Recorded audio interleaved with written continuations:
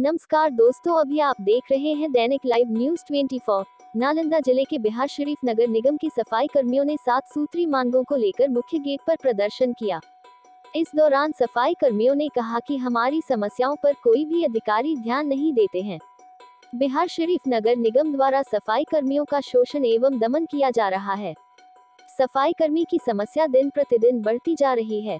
इसके अलावा हर दिन कर्मियों को हटाने से लेकर रुपया लेकर दूसरे सफ़ाई कर्मियों को रखने का खेल बदस्तूर जारी है।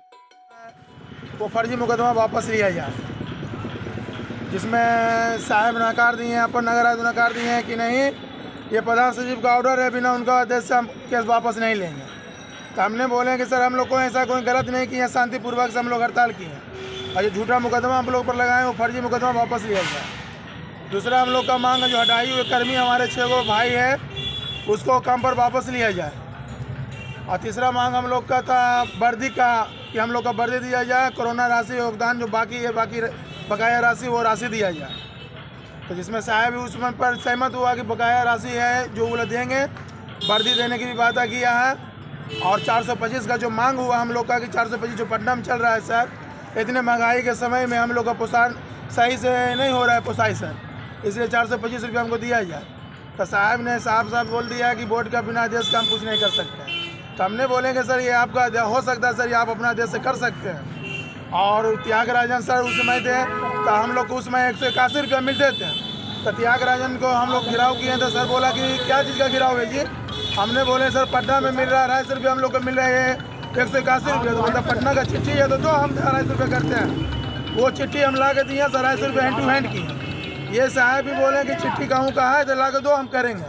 जब चिट्ठी ला के दिए तो बोलता है कि मेरा ये बस का चीज़ नहीं है, बिना बोर्ड का निर्णय हम कुछ नहीं करेंगे। बोर्ड का ही बार बार हम लोग का ये बलगाने का काम करता। है बोर्ड में पारित भी हुआ कि सफ़ाई कर्मी को कोई तरह के अगर शादी ब्याह में और कोई सब बीमार गिरता है तो उसको छुट्टियाँ वापस लेगा और उसको हाजिरी नहीं कटेगा, उसको भुगतान किया जाएगा।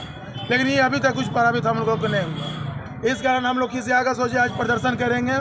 लेकिन साहब रात में सात बजे बुलाकर हम लोग से वार्ता किया। हम लोग वार्ता भी किए लेकिन आप, आप सफल रहा। कोई तरह का सब बात नहीं हुआ वार्ता की लेकिन कोई चीज़ देने के लिए साहब तैयार नहीं हुआ। हमारा जो मांग था सबसे बड़ा मुद्दा कि जो एफ़ मुकदमा हुआ जो फर्जी मुकदमा की वो वापस लिया जाए वो मुकदमा लेने के लिए तैयार नहीं अगर वो मुकदमा नहीं लेता तो हम लोग लड़ाई के लिए तैयारी करेंगे।